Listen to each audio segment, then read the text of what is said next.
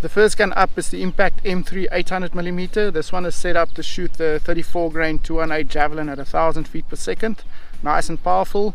The wind is more or less from the back, but it's very erratic. It, it swirls around a bit, so we're going to struggle a bit with getting our holds right.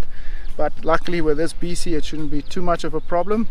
So yeah, this is a, a very powerful gun. It's got the Hein Frohman silencer on here, which makes the 800 barrel look way shorter than it actually is, which is a very nice set setup.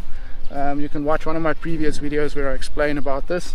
Um, yeah, got the Element Optics Titan on here as well, nice scope, and uh, it's going to be a, a long range day today. And we've got some other guns here as well. If we need to walk around a bit, we can do that as well.